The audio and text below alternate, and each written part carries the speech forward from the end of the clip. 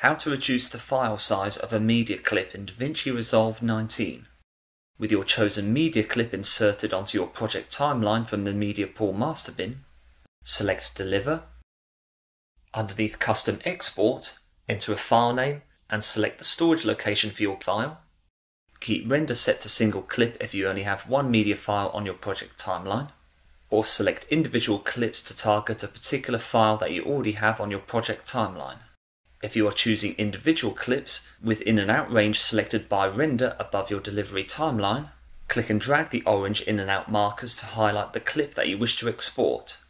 If you will continue your project work inside the edit window after selecting an individual clip only, you can remove the in and out markers by holding an Alt or Option if you're a Mac user and by pressing X. In this particular example project I only have one clip and will therefore keep render set to single clip.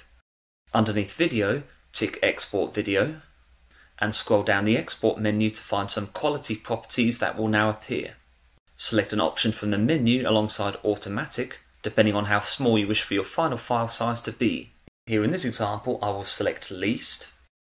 Ensure that your desired formatting options are selected before going to Add to Render Queue, and select Render All to create your new media file. The rendering speed may vary slightly depending on the quality option that you selected. In this media file directory for the same video clip, we can compare the file size of the original with those of the updated files with the least and best options selected for quality. The original file comprised of a size of 19 megabytes, with the least quality version just under 17 megabytes, and with the best quality video having a file size of just over 86 megabytes. Here in this preview we can see the original clip playing followed by a comparison between the best and least quality versions, both showing no significant differences in terms of quality, despite the quality option being selected inside the deliver window. Thank you very much for watching, I hope that video was useful to you. If you enjoyed the content and wish to be notified about future uploads on this channel, please like, share and subscribe.